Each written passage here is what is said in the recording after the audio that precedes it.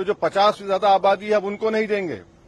ये कौन सा इंसाफ है? दूसरा ये कि जो मुस्लिम महिला है आप उनको नहीं देंगे। सत्रह लो, लोकसभा के इलेक्शन हुए छह सौ नव्वद महिलाएँ एमपी हुए। मुसलमान कितने जीते? पच्चीस।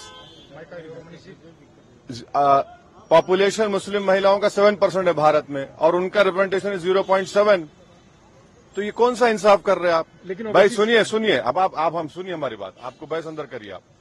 जब आप कानून ला रहे हैं जिनके लिए अब उन्हीं को नहीं देंगे कि ओबीसी को और मुस्लिम महिला को नहीं देंगे। इसलिए हम उनके खिलाफ वोट दिए ताकि कम से कम मालूम हो सके कि भाई ये दो एमपी थे जो ओबीसी महिला के लिए और मुस्लिम महिला के लिए उनके इंक्लूजन के लिए लड़ रहे थे। जो हमारे पॉपुलेशन के 50 परसेंट के ऊपर है अभी लोकसभा में अदर बैकवर्ड क्लासेस सिर्फ़ बाईस फ़ीसद है।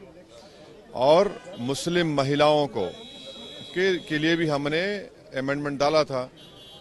अब सिर्फ़ चार फ़ीसद मुस्लिम महिला हैं तो इनका रिप्रेजेंटेशन होना चाहिए ना। बिल लाने का मकसद क्या है कि उन लोगों को लोकसभा में और स्टेट के असम्बलीज में उनको मौका मिले। जब उन्हीं का रिप्रेजेंटेशन नहीं है तो कैसा होगा? छह सौ नौवद वुमेन एम अब तक इलेक्ट हुए हैं, जिसमें से मुसलमान सिर्फ़ 25 हैं।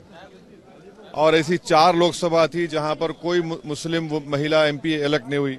57 में 62 में 91 में 92 में तो हम ये बोल रहे हैं कि ओबीसी के मुस्लिम महिला ओबीसी के महिला को और मुस्लिम महिलाओं को रिजर्वेशन मिलना चाहिए हमसे जुड़े रहने के लिए हमारे YouTube चैनल को सब्सक्राइब करें और नई वीडियो की नोटिफिकेशन के लिए बेल आइकॉन को दबाएँ।